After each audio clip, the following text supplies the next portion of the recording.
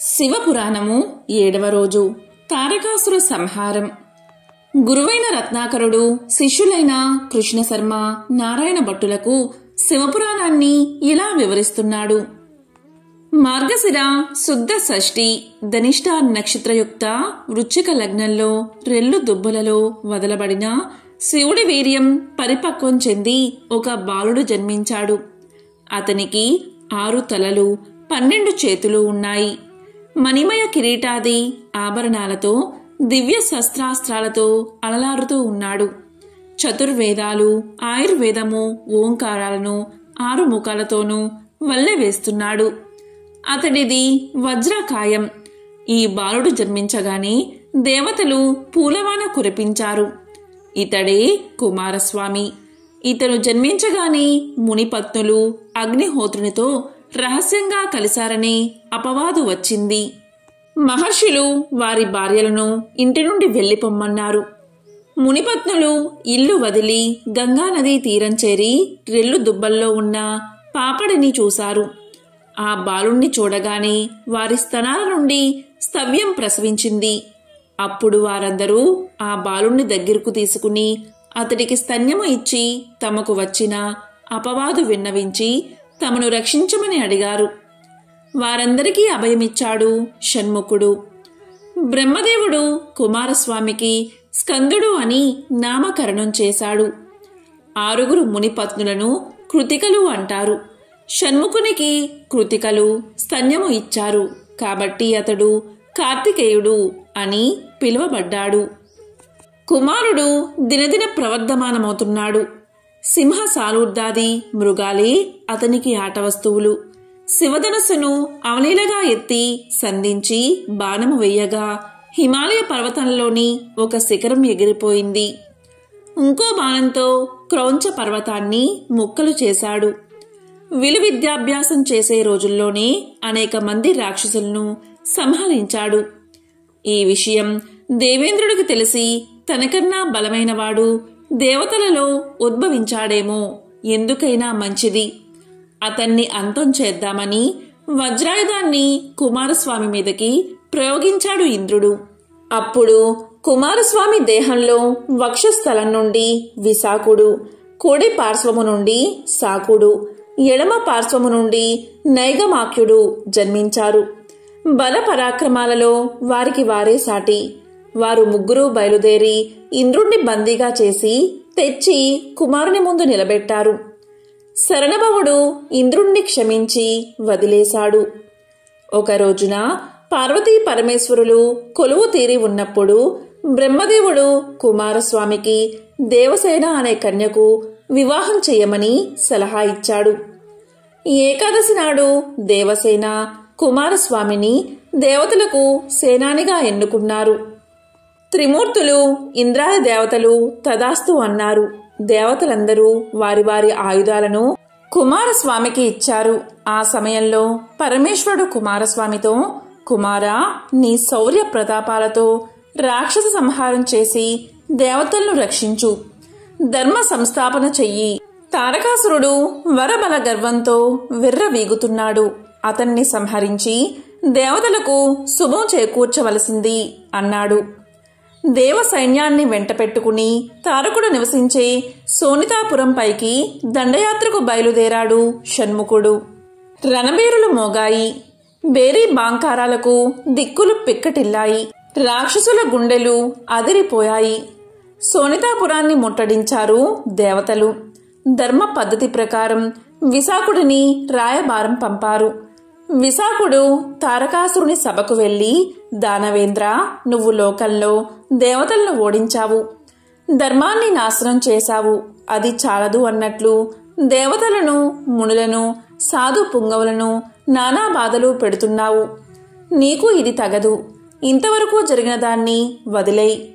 ఇక నువ్వు పాతాళానికి వెళ్ళి భోగవతి పురాన్ని ఏలుకో. స్వర్గాన్ని దేవతలకు అప్పగించు.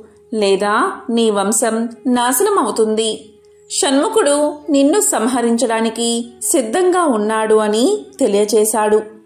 ఆ మాటలు విన్న తారకాసురుడికి ఒక పక్క నవ్వు మరొక పక్క కోపము వచ్చాయి. అతడు విశాఖుడితో ఔరా నిన్నగాక మొన్న పుట్టిన షణ్ముఖుని చూసుకున్న దేవతలకింత మిడిసపాటు అనుకుని మంత్రిమండలిని సలహా అడిగాడు. వారు రాజా తమ దాటికి తట్టుకోలేక దేవతలు తలొక దిక్కుకు పరిగెత్తారు. అటువంటి వారికి భయపడి మనం పాతాళానికి పోవడమా? తమరు ఆజ్ఞ ఇవ్వండి. రాక్షస సేనలు దేవతల మీద విరుచుకు పడతాయి అన్నారు. తారకుడికి మంత్రుల సలహా నచ్చింది. మరుసటి రోజు రణరంగంలో కలుద్దామని దేవతలకు సమాధానం పంపాడు తారకుడు. మర్నాడు తెల్లవారింది. దేవదానవ సైన్యాలు రణరంగంలో ఎదురెదురుగా నిలిచాయి. కుమారస్వామి సైన్యానికి శిరోభాగాన ఉన్నాడు. దిక్పాలకులు పార్శ్వభాగాలయందు ఎందు ఉన్నారు. ఈ రకంగా వ్యూహం నిర్మించారు. తారకుడు దేవతలకు దీటుగా పద్మ వ్యూహాన్ని నిర్మించాడు. దాని మధ్యన తారకుడు పాశములయందు బాణాసురుడు ప్రలంబాసురుడు నుంచున్నారు. దేవదానవ సంగ్రామం మొదలైంది.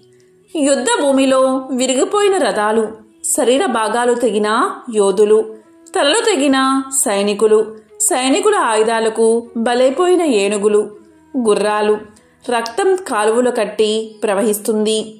భయంకరంగా ఉంది పరిస్థితి. తారకుడు విజృంభించాడు. అతని దెబ్బకు ఆగలేని దేవతలు కుమారస్వామిని శరణు కోరారు. కుమారస్వామి దేవ సైన్యానికి ధైర్యం చెబుతున్నాడు. వారిలో ఉత్సాహం రేపుతున్నాడు. యుద్ధానికి పురిగొల్పుతున్నాడు.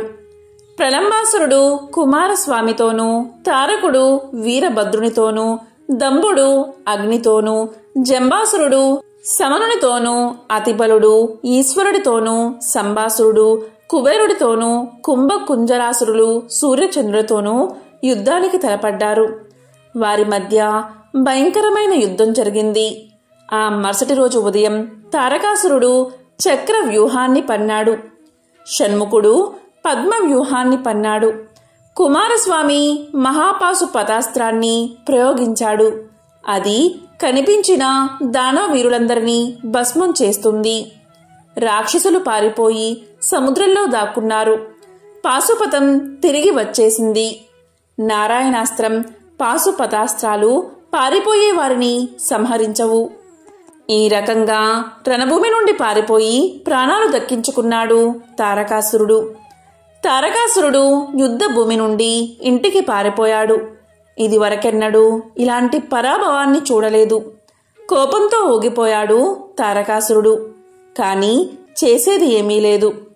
శివలింగాన్ని ప్రతిష్ఠించి నియమనిష్టలతో పూజించాడు తారకాసురుడు. పంచాక్షరి మంత్రాన్ని జపించాడు. ఇప్పుడు శత్రు సంహారం కావాలి. అందుకని నువ్వులు జిల్లేడు పూలతో పార్థివ లింగాన్ని అర్చించాడు.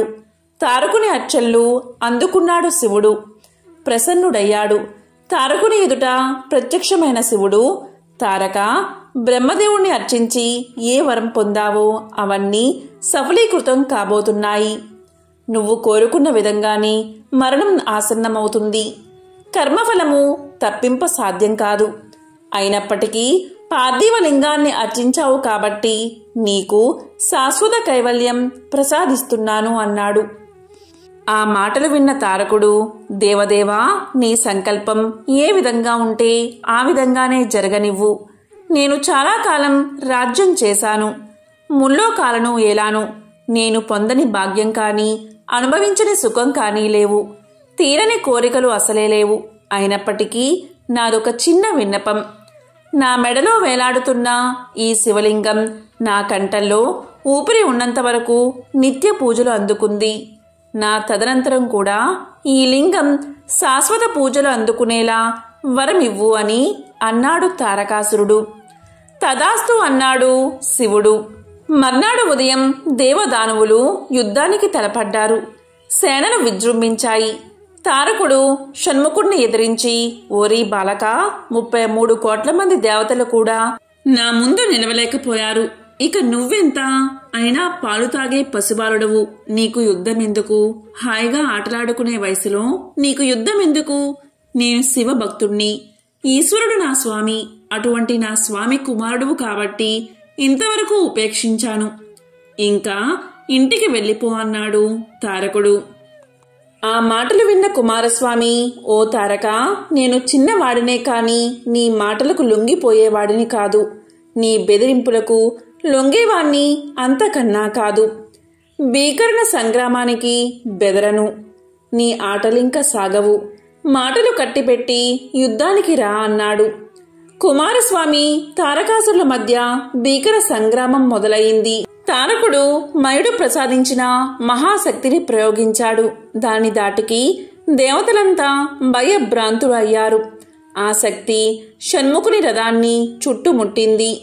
స్కందుడు బ్రహ్మాస్త్రంతో ఆ శక్తిని భేదించాడు.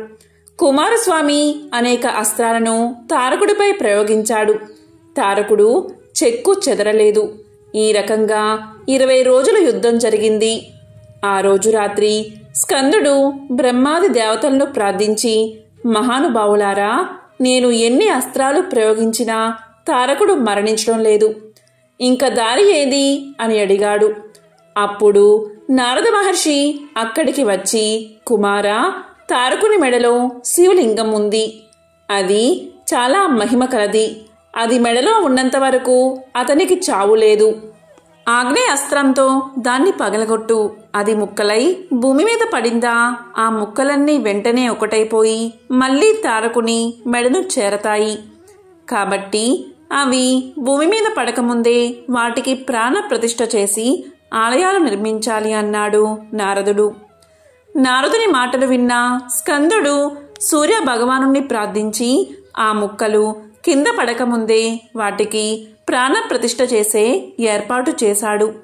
క్షణకాలంలో వాటికి ఆలయాలు నిర్మిస్తాను అన్నాడు విశ్వకర్మ.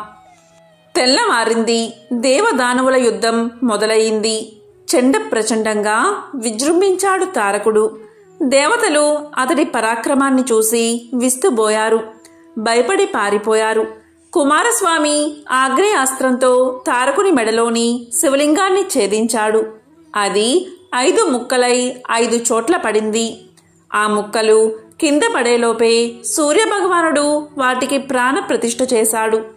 విశ్వకర్మ ఆలయ ప్రాంగణాలు నిర్మించాడు. కుమారస్వామి బ్రహ్మాస్త్రాన్ని ప్రయోగించాడు. తారకాసురుడు ఆర్తనాదం చేస్తూ నేల కురిగాడు. దివి నుండి దేవతలు పూలవాన కురిపించారు. గంధర్వులు పాడారు. అప్సరసలు ఆడారు. లోకాలకు వచ్చిన ఉపద్రవం తొలగిపోయింది. తారకాసుర వధ జరిగిపోయింది. కుమారస్వామి కైలాసానికి వెళ్ళి పార్వతీ పరమేశ్వరులకు పాదాభివందనం చేసి తారకాసుర సంహారం గురించి తెలియచేశాడు. లోక కళ్యాణం జరిపినందుకు ఆనందించి కుమారుణ్ణి ఆశీర్వదించారు ఆది దంపతులు. శివపురాణము ఏడవ రోజు పారాయణం సంపూర్ణం.